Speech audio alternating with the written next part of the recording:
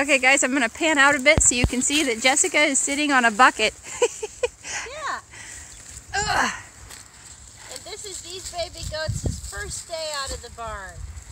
Yeah, I they're think it's been, out. has it been three nights we kept them locked up with their mama? Yeah, because they're kind of small when they were born. And uh, the other kid goats were kind of headbutting them a little bit. Not really like a violent headbutting, but playful. Yeah. And their mom wasn't attacking them for it. So normally when that happens, we have to keep them separated for a while until they get to pre be pretty good on their feet. So that they could run away and hide behind their mama. Yeah. And their mom is pretty, mama. yeah, their mom is pretty low uh, on the totem pole. Yeah, so that's why she's kind of skinny. that's why she doesn't protect them super well. And uh, they need to have some shepherd. She's not a very violent mom. Yeah. You know those tiger moms they talk about in China, that's not Coco. you got to shepherd this goat, and you got to yeah. shepherd these babies.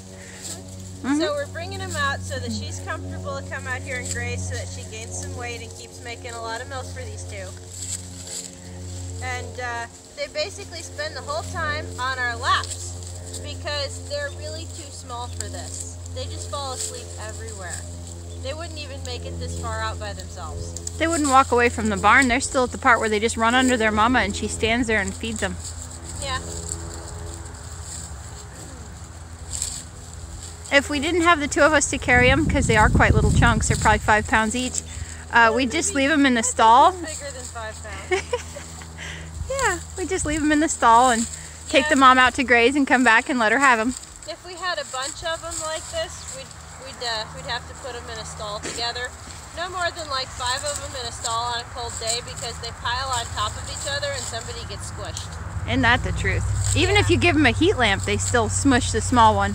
Yeah, there's always going to be a smaller one, and it's normally a girl, which automatically makes it worth more money when it gets squished. You're like, ah! Yeah. Why couldn't you have squished a Billy? No offense, Billies, but you're just not worth as much. Yet. Yet. Yes. They'll be worth more later. Yeah. Uh, doelings are just worth more at birth. Well, they're worth more if they get big and beefy and you Look at how big Blue is compared to that baby goat. He's only two weeks old. I thought he was three weeks. Two and a half? Yeah, but he was born from a big mama and he was the only baby in there. He's monster huge. That's Cupcake Blue. is older than, than Coco. and she's more full size. Yeah, he's checking out the new babies on your on your lap. He's like, hey, hey, what's going on? He's like, he's no. Like, That's my spot.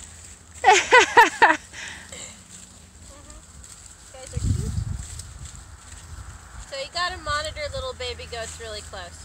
It's a recipe for disaster to not monitor them. Mm-hmm. yeah, we're not, we don't have predator-proof goats. We have milk goats. Yeah. I think predator-proof goats are called mountain goats. the ones that can scale a sheer cliff? Yeah, the ones that walk up dams and whatnot to get to lick the salt. Mm -hmm. Yeah, these goats can't do that. Uh, they wouldn't even try to do that. They're domestic. They're domestic animals, and domestic animals rely on their, their people. For like everything.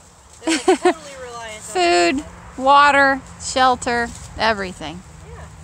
Kid rearing. Some people do try to breed them to be less reliant on people, but they end up wild as March hares. Yeah. You hardly get your hands on them. And then, uh, what was it? It was a, a Boer cross goat that Noel grabbed the horns of to try and put in the van, and he flung her. He did. Up and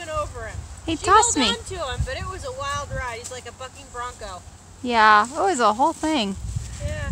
All right. Well, enjoy your day grazing with your baby goats. Bye.